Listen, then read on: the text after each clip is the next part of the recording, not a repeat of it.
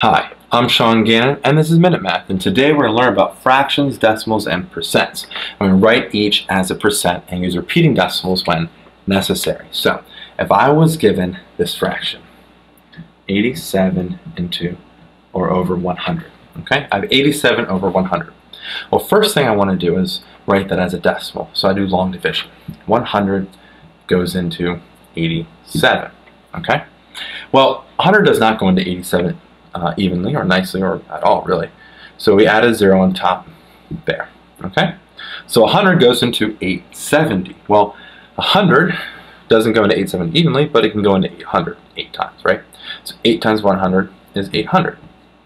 We subtract that, 870 minus 800 is just 70. 100 cannot go into 70, add another zero, bring it down, we get 700. Well, now 100 can go evenly into 700, right? Seven times. Seven times 100 is 700, and then we're done. 700 divided by 700 is zero. So we have our decimal, 0.87, and I have to write that as a percent. Well, we take that decimal place, and we can move it two spots to the right to convert a decimal to a percent. Two spots to the right gives us 87 percent. We're done. So get our final answer of just 87 percent.